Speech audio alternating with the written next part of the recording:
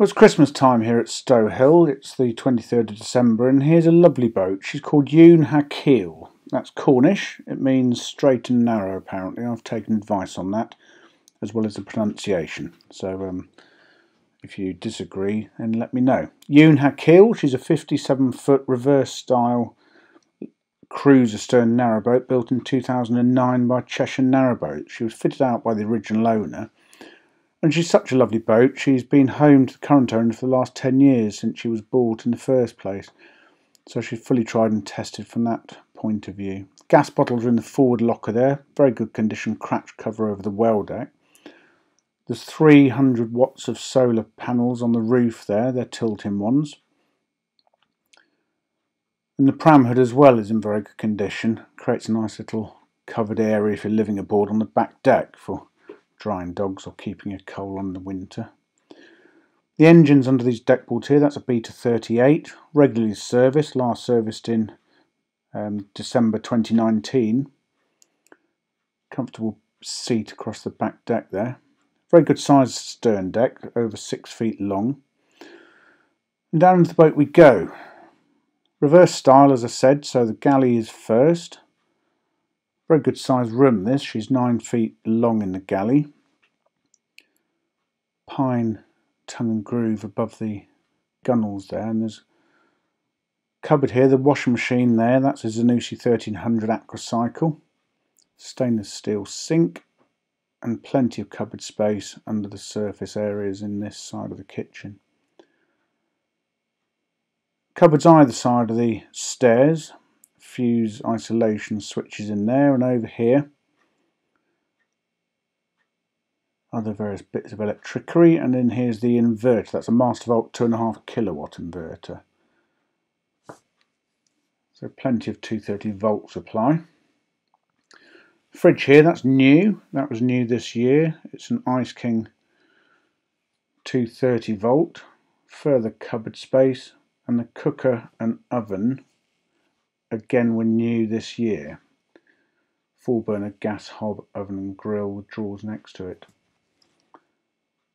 The floor in here is wood laminate. There's the view back down the galley. Lovely space. And into the saloon. This room is huge. It's 18 feet long, very open plan. All the furniture is freestanding. There's a very large side hatch there on the starboard side. Head height on the boat is six foot three. All the lighting on board is LED. There's a nice wing-back armchair there with a sofa bed, both sitting opposite the solid fuel stove. That's an arrow. There's a drop-down dining table that just folds down. There's a bracket underneath with two dining chairs and a desk at the end.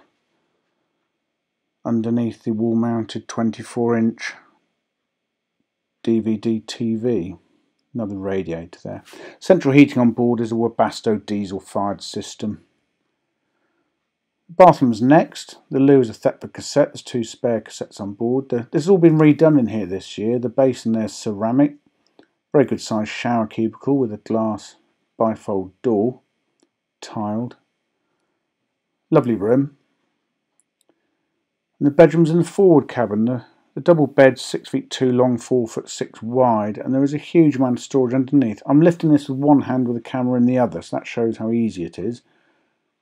Just lifts up to expose acres of storage. Bank of four drawers here. And there's a wardrobe at either side of the steps as you go out onto the well deck. She's such a lovely boat. She's full of character, actually. Credentials for living aboard are tried and tested. Satellite dish you see there. There is Freesat on board that goes with the television.